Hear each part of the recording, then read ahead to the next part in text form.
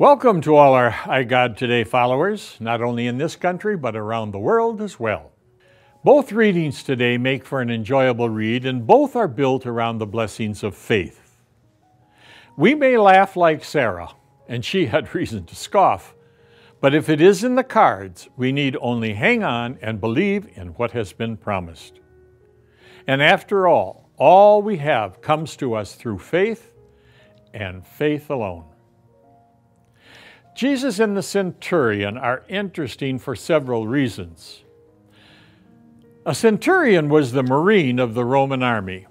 He was disciplined, he was steadfast, he was well trained, and he acted on orders.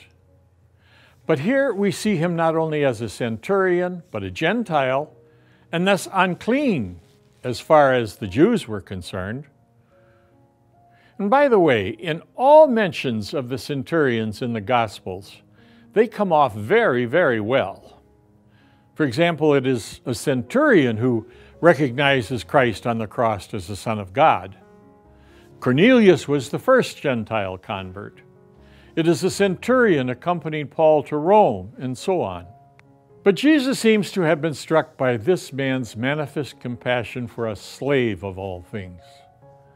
The man certainly went out of his comfort zone to seek help for someone who, in the parlance of the day, was no more than a tool and an object, and one certainly with no rights. You know, it, it may well be that this is what struck Jesus. Love covers a multitude of sins, and the man who cares for others was always near to Christ. So, despite their differences, one a Jew and the other a Gentile, Jesus not only expressed amazement at the man's faith and compassion, but indeed, he healed the wretched slave without even going to him. So, today's message is the importance and the appreciation of faith. The passport to God's presence is not belonging to any tribe or culture. The passport is faith.